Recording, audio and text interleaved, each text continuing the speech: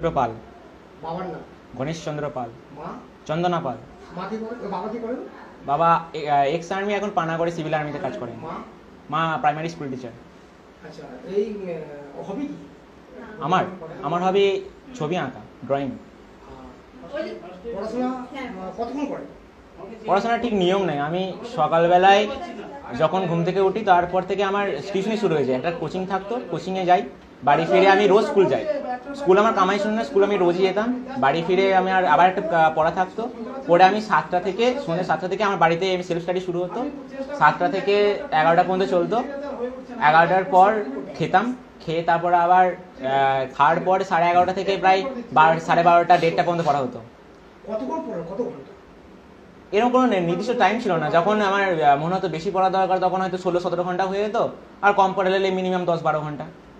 আর এই লকডাউনের মধ্যে কীভাবে কেটেছেন লকডাউনের মধ্যে প্রথম হলো ভালো কাটেনি। আমার স্কুল না গেলে আমার ভালো লাগে না। বাড়িতে বসে বসে ভালো লাগে না। তাছাড়া আমার যে কোনো যে কোনো জায়গায় আমার টিউশনি হচ্ছে এই অনলাইনের মাধ্যমে নেটে নেটের মাধ্যমে। আর তাছাড়া আমি পথফাইন্ডারের সঙ্গে যুক্ত। পথফাইন্ডারে পড়ি আমি। সে পথফাইন্ডারে আমার অনলাইনে ক্লাস হয়। সে সেখান থেকেই হয়। এমনি পড়াশোনা ব্যাপারে অত খারাপ হচ্ছে না। কিন্তু আমার বাড়িতে বসে বসে ভালো লাগে না ঠিক। খেলাধুলা? হ্যাঁ খেলাধুলা করি। কিন্তু প্রায় তিন বছর ধরে আমি খেলাধুলা করিনি।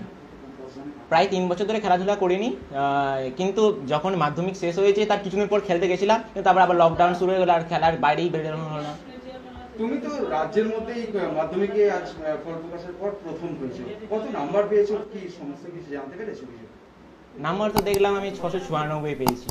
কিন্তু আশা করেছিলাম ওরকমই হবে। আমার আশা ছিল আমি বাড়িতে যতবার হিসাব করেছি ছশো পঁচাশি থেকে আমার চুরানব্বইয়ের মধ্যেই নাম্বার পাওয়ার কথা। এবার ছশো চুরানব্বই পেয়ে গেছি এটা আমার ভালো সৌভাগ্য। তোমার প্রথম ভাবে এটা ভাবতে পেরেছ? প্রথমভাবে ঠিক ভাবিনি আমি ভেবেছিলাম এক থেকে দশের মধ্যে থাকব। কিন্তু প্রথম হয়ে গেল আরও আরও সুন্দর ভাগ্য চলে এলো আমার। স্কুলের একটা নাম উজ্জ্বল। হ্যাঁ স্কুলের নাম উঠে হলো। আমার? Memory VM institution unit one কি বলবে এই যে রাজ্যের মধ্যে ফার্স্ট হলে মাধ্যমিকে?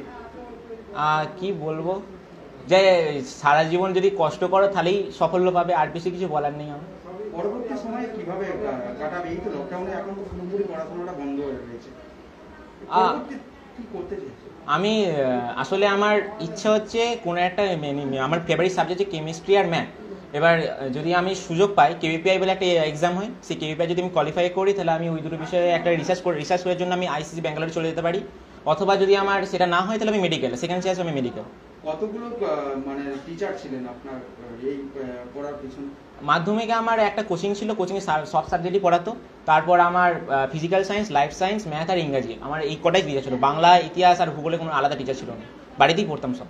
বাড়িতে কি গাইড করে বাড়িতে মা। সারা আমার ছোটবেলা থেকেই মাই আমাকে পড়িয়ে আসছে।